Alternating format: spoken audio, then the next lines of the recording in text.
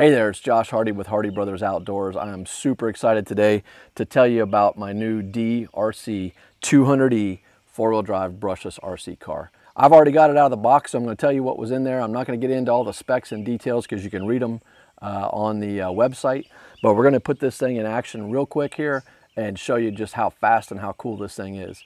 Uh, we've started to do a lot of things with RC cars and drones, and uh, we thank DEERC for sending us this one to try out and uh, we're going to put it to test here out in the yard and see what we get. So first, let's talk about what's in the box. In the box, you get two of these uh, shells that are uh, pretty indestructible, they feel. And uh, one of the things that I'll, I'll point out is you can almost not even tell, but there's a, a film on here that you're supposed to peel off. So you'll have to kind of pick at it. There's a label that says, you know, make sure you do that.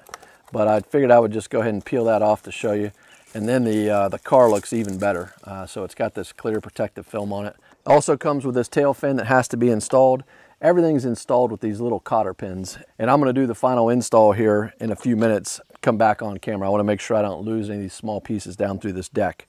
Uh, inside the box, you also have two uh, batteries that are gonna last about 20 to 25 minutes a piece. The uh, chargers are two USB chargers and uh, I think it takes about 250 minutes to do a full charge uh, on the batteries. They were uh, pretty well charged out of the box, didn't take quite that long. That's what goes on, that's with, with the car. We'll get that set up. There's also a whole bag of accessories and tools that come with it. I'm super, super impressed with how much stuff they actually provide you, knowing that these things are gonna go through um, some pretty rugged use, especially at the speeds they go at. The manual is excellent. It tells you what every component uh, on the car is, gives you a complete breakdown, and you can actually buy and replace anything on this uh, this RC car. So knowing that you're going to run run it hard and jump it and run it into things and what have you, uh, there's a full schematic for the um, uh, for the car. So everything you need to know is in the guide. It's it's very well detailed. Uh, FAQs if you're having problems and uh, order details for more parts and that sort of thing. So um, we're going to get this, uh, this thing going here in just a second. Here's the bag of accessories. And as I mentioned, chargers and two batteries.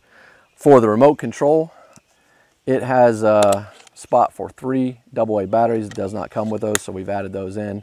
And uh, it just tells you here a little bit of details on uh, when you're connecting it the first time. You have a speed trim, so you can trim it down while you're learning how to run it or speed it up and it has a steering trim. And uh, that's the, the bulk of what you need to know about this. You got forward and reverse that's the rest of it and uh, in the steering wheel. So let's get this thing set up and get it running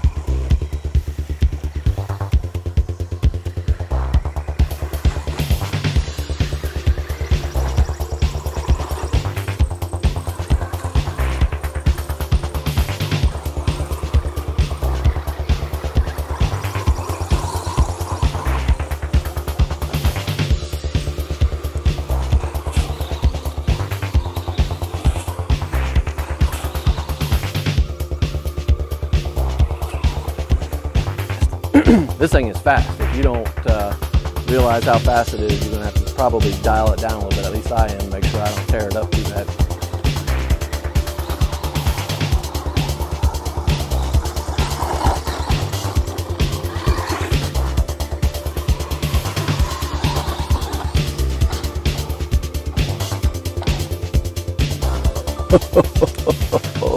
Man, this thing's pretty awesome. But I'll tell you one thing we tell people when they ask us to try out their products is we're not going to baby your product.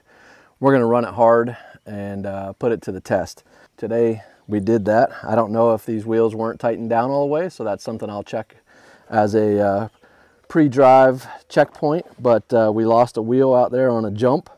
it came down pretty hard on the front, front wheel, so no big deal. The bolt that goes on it was right next to it.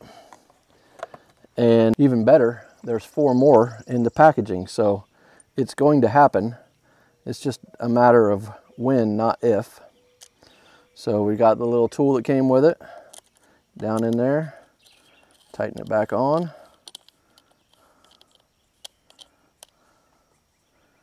And we're back in business. I'm gonna try the other ones just to make sure they're tightened down. A little tiny little crank on there. So probably something to do after you take it out every time is just to check your your lugs to make sure they're tight. And we're good to go. So uh, we're gonna get it back out there, do some more running. You can see it's muddy out there today and this thing is just eating it up. So we'll have some cleanup to do on here for sure uh, to keep this thing in good working order. But uh, it definitely is, uh, is fun. So some, some learning curve on the speed. I suggest that you dial it down until you're comfortable with it. And it just depends on where you're running. The more open space you have, the faster you can run. My yard is full of uh, bumps and divots and puddles and what have you, and this thing handled it just great. So thanks a lot for watching. Have a great day, and we'll see you next time.